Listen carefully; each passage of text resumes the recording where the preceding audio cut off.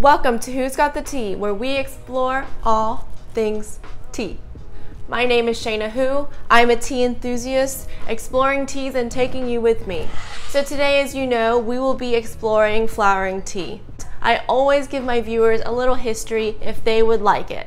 If you don't want it, skip ahead to the fun part where it blooms. Flowering tea is made by hand sewing tea leaves and flowers. They are formed into a ball and held in that ball shape by thread or a cheesecloth. They will stay in that shape until they are dried and ready for tea brewing. Because many flowering teas use flowers, there's often a mild herbal flavor associated with the tea. To give it a little bit more spunk, jasmine tea is often incorporated to enhance the tea flavor and the aromatic experience. Although flowering teas can contain flowers, it doesn't mean that a flowering tea must have a flower. All flower blooming teas are blooming teas, but not all blooming teas are flower teas. The term blooming tea refers to the actual action of the tea leaves blooming and opening up when they are placed in the hot water pot. Health benefits associated with this tea, it really depends on what is in the tea. Hibiscus, for example. Hibiscus is really good for decreasing blood pressure. If it has the green jasmine tea, then green jasmine is great for antioxidants. It is great to fight free radicals. It has a great aromatic therapy associated with it. I love the smell of jasmine. Of course, guys, we need a clear teapot to watch our tea bloom.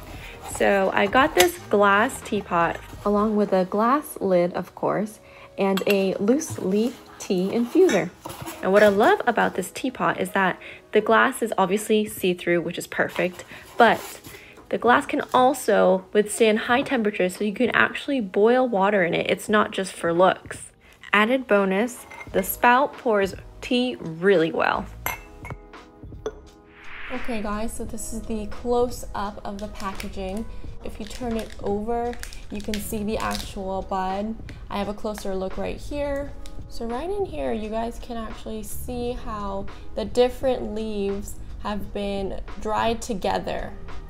And so when they were initially formed, they were formed on a piece of thread. You can actually see the, right there, you can see the white thread there.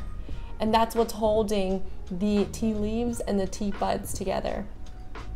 So once they dried and they kept that form, the outer thread or the outer cheesecloth could be taken off and now when you put it in the hot water, these leaves that have been dried together will loosen up, creating a blooming tea. I can see a little bit of the purple flower in there, so there is going to be some type of purple and maybe orange flower I can see right there. Now that I've gone through all the wordy things, let's get right into watching this blooming tea.